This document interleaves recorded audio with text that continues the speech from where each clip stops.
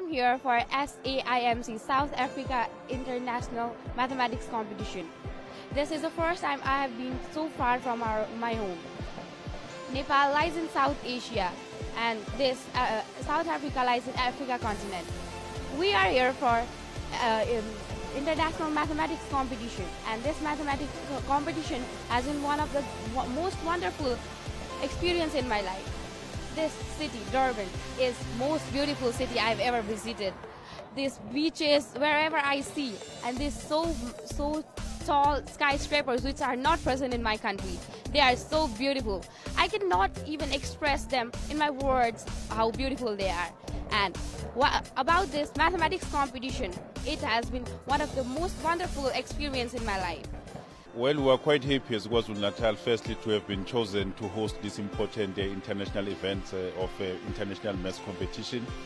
Uh, first thing is that it has allowed us to showcase our our province, beautiful province, uh, the cultural diversity that we enjoy, but the warm heart and the warm people that we have as KwaZulu Natal.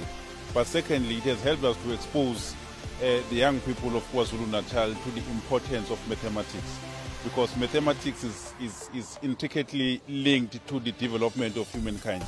And humankind has been the history of discoveries, and all these discoveries are linked to mathematics and physical science. So exposing young people, particularly in this era of fourth industrial revolution, is quite important, and that's why we're happy as KwaZulu Natal to have been given a chance to host this important event.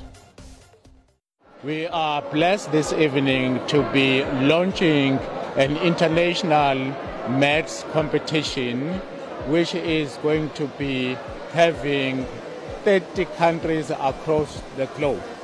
These countries have sent their students to participate in this international maths competition.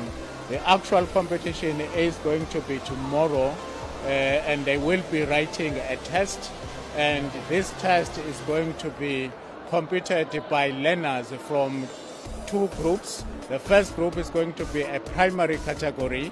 The second group is going to be a secondary category. And on Wednesday, they will be giving us results as to which country is going to win this international maths competition.